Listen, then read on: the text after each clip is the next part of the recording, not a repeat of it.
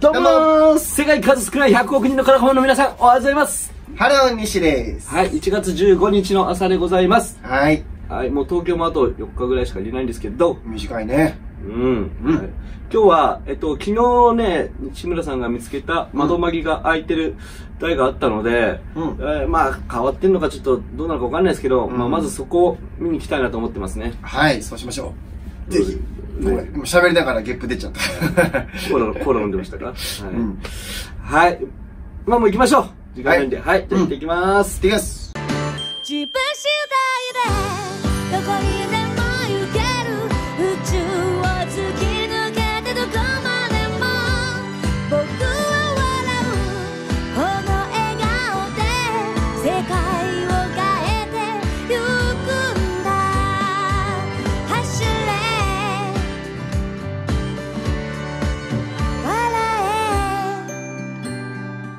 どうもはい。今日の結果発表していきます。はい、しましょはい。う。うん。今日はやっと、いい報告ができますよ。ですね。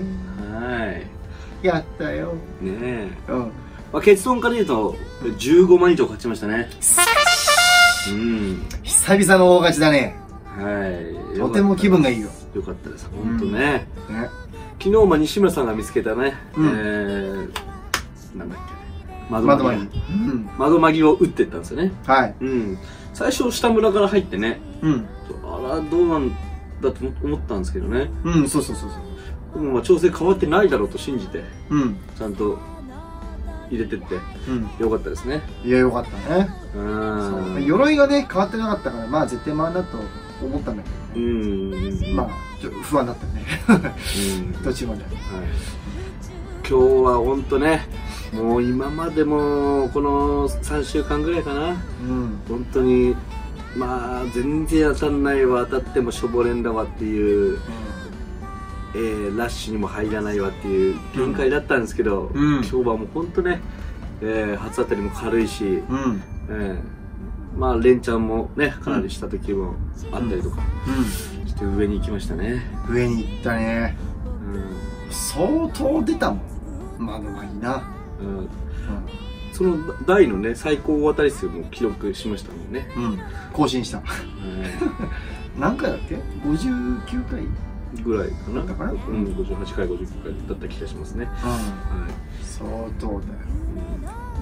い、いや僕途中で今日ねまあまたね友人とご飯食べに行ったんですけど、うん。はいまあ、西尾さんがずっと一日一日というかまあね夕方まで練習なんでねそれ以降は打ってて、うん。楽しかったでしょまあ楽しかったよ、めちゃくちゃ。俺も原作も好きだしさ。はいうんまあ出る、うん出るしね。スピードも速いじゃん、出るのまうんうんうん、うん最初の最高の気分5回転とかだったら早いですからねで。そうそうそうそう。ST 中ねうんうんパンパンパンっていくからさ。うんうん最高に楽しかったよ。いやいいですねうん。連チャンの波が、まあ、3回ぐらいあったんだよね。大きな波が。うん、うん。で、一発目が、何連したのかよくわかんないんだけど、はいとりあえず表記出玉が、えーっと、1万6000発。一い最初の当たりでですか？うん。あそんなにいったのかそうか一撃であその時は僕まず隣で見てたんだそうそうそうそう。で1万6000ぐらい行って、うんやったぜ、なって。うんでからこう、どっか行ったなと思って、すぐだったかな。あそうなんですねうん。すぐ当たって、はいで、それが、こうまた続いて、表記出玉、えーっと、1万8000いくつ。うんで、その後、100回転後ぐらいかな。で、また当たって、はいそれが、えっ、と、9000発ぐらい。おおんと、もう、いえ、表記だけで、いくつよ ?4 万超えたってことか。はいはいってことね。素晴らしい今日最高ハマり何回転ぐらいですか？最高ハマりは、あ、でも200ちょいだった気がするね。すごいっすねうん。すごかったね。こんな時もありますわね本当にもう1日に3回1000以上ハマったりとかもあありましたけど うん話にならないよね。で窓まぎねうん。あのねひねりがまあ効くんすよね聞くね。うん下アタッカー上アタッカーって、まあ、下アタッカーは昇級が7個でうん。上アタッカーは何個だっけ？15個だっけ？あれ15個。ああ、うんですねうん。なんですけど、まあ、下アタッカーの方が決まりやすいうん。でもどうなんだろう。下アタッカー8割ぐらい決まるんじゃないかなっていう印象ですかね僕は。違いまあうん8割まあ7割ぐらいじゃない？8あまあー。まあそれぐらいだと思う。まあ7割でもん。弱強強で2個超えたりとかもあるので、うん。はい、上高はまあ2個行くことはないですけどこぼれがなくて、うん。えー、4割ぐらいは決まるかなっていう感じなので、そうね。うん。うん、まあ時間効率は本当通常時のね特に、うん。まあ、めちゃくちゃ悪いんですけど、ん。はい。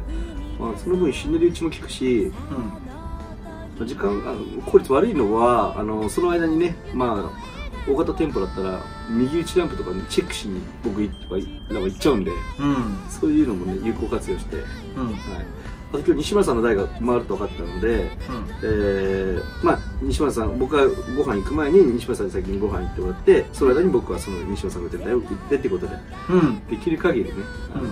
はい。まあ弱点をね、えー、なんていうんですかね、まあ、克服するというかそうね。そうする立ち回りをしていってね、うんうんはい、っていう感じで今日の成果になったと思います。はい。よかったです本当に。非常に良かっはい。たそんなことで僕は今日はねうん。いつもの即席麺じゃなかったんですよご飯が。もうずっとカップ麺買ってましたけどね。うん。はちょっとねあんまりにもね変色しすぎてねい。はい。あの僕の体はボロボロです。僕の持病がちょっと発病しかけた。ちょっとやべえなと思った。うん。で今日はちゃんとしたもの食べましたちゃんとしたものではないと僕は思いますけどね。コンビニで買う時点で。はい。まあなうんお寿司食べましたお寿司 コンビニのね。そう縁側の押し寿司はっていうなんか珍しいものとい。うん。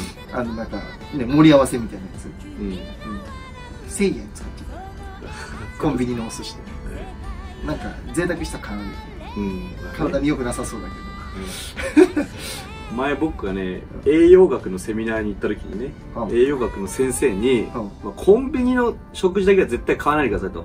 はいはい。何でも、うん。うん、あの本当に良くないんで体にっていうことで言ってて、あそうなんだと。いうことで、僕がじゃあコンビニで強いて言うなら強いて言うならですよ。買っていいものありますかって僕聞いたんです先生に。はいはいはい。なんて答えたか。水っすごい考えた考えたあげくね？うん。考えたあげく。うーん。ジャンプとマガジンぐらいですかねって食べ物じゃねえじゃんっていうもうもはや。雑誌か。うん。もう何も手に何も食うなと。コンビニで。コンビニでは、はいろい。ろねなんか着色料だかなんだか知らないですけどね、まあそうね。入ってるみたいでね。うん。おにぎりとかねなな真夏とかに放置しててもね腐らないっていうねずっとね、うんうんうんうん腐らないっていうのは問題ですよね。いろいろね防腐剤がねうん。入ってたのかな。は変な味するんだよな。うん。ということでね僕らはね勝たないと、えー食生活も危ぶまれていますので、本当だ。えーそれで体を壊してっていうね悪循環に入っちゃうんでね、うんこれだけは回避したいんで、会議したはい。もう今今もね今深夜1時ぐらいですけどはい、編集してるんですけど。1時15分ですね今、うん、1時15分。うん。編集してるんですけどもう頭が回らない。はマジで。もう集中力かきまくる。いはい。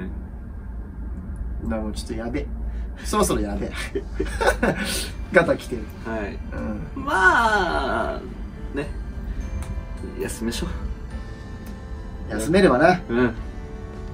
休んで明日早めに上がればいいんですかまあな。でもそんなあれよ？数時間とかで回復する体のガタレベルじゃないから。